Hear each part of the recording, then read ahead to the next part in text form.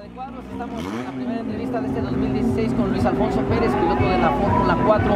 En esta segunda fecha, ¿cómo te has sentido aquí en Aguascalientes?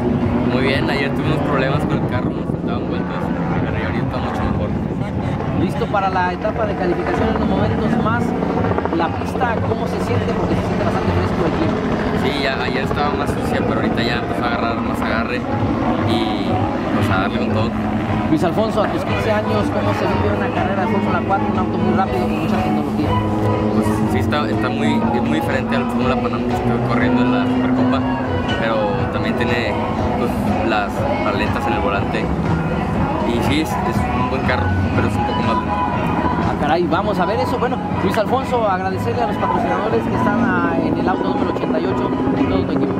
Y muchas gracias a Esperanza y me pueden seguir en Lab Racing en Facebook Instagram LPR5. Bueno, pues te deseamos mucha suerte en esta etapa de calificación. Te vemos bastante maduro para los 15 años. Sabemos que el nombre de Luis Alfonso Pérez no solo quiere sonar en Monterrey, sino en todos lados de México y el mundo.